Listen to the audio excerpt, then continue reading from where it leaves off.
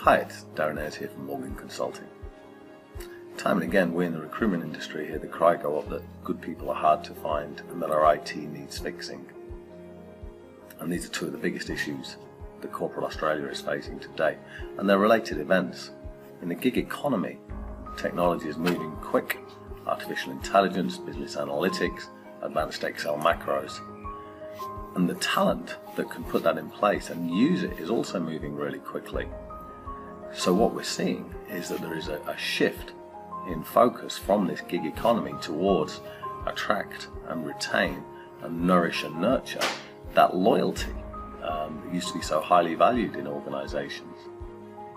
So I'm working at the moment with five people that have been more than five years in the same organization. They're looking around because of a, a restructure.